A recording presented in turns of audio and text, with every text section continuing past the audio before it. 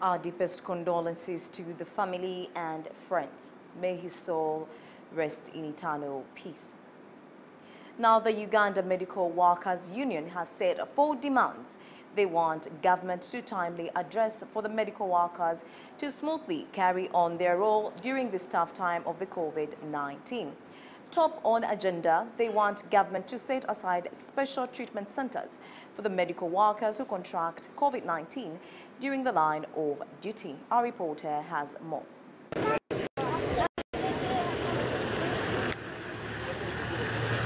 At least 16 doctors have succumbed to coronavirus in the last three weeks, according to Uganda Medical Association.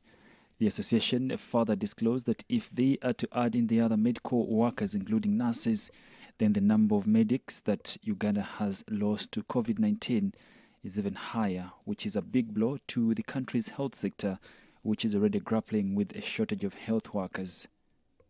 Sanya Agri, the General Secretary for Uganda Medical Workers Union, explained that what hurts more is that many of these health workers contracted COVID 19 in line of duty. Equipment for management of health workers battling with COVID 19 contracted in the line of duty.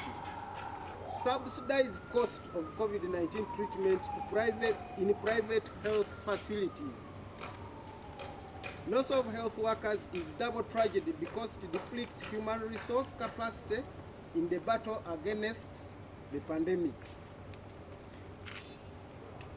Kenya Ministry of Health has created isolation centers for health workers at regional level and a hospital in Nairobi fully equipped specifically for health workers.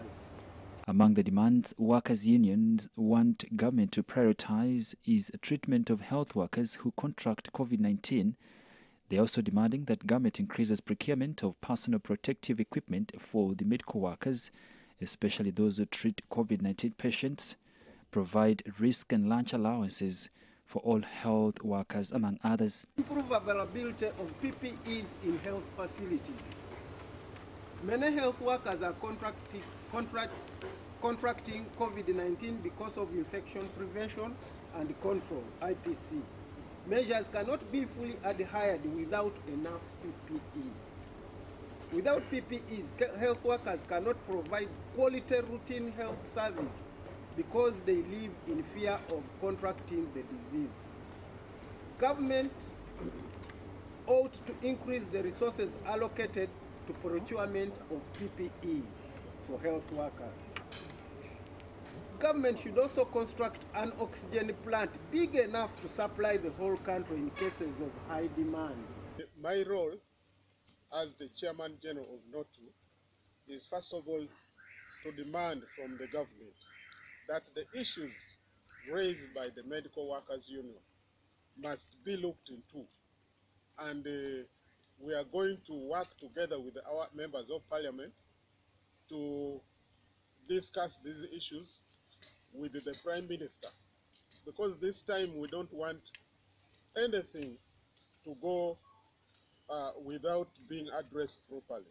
The workers' member of parliament decried the ill preparedness of the country in combating such pandemics like coronavirus. Actually, implore upon government as well as resolution even of, of, parliament so that at least we move towards direction. You find that uh, there has been a high level of complacence because at the first level, the first COVID, you remember there was actually some arrangement. But again, this which is more dangerous and we are even anticipating wave three, we don't have proper arrangement in the place. So we cannot actually do things haphazardly. We need an arrangement in place to ensure that at least the fight is actually handled uh, technically. Story by Juliet Namwaya for the news in Kampala.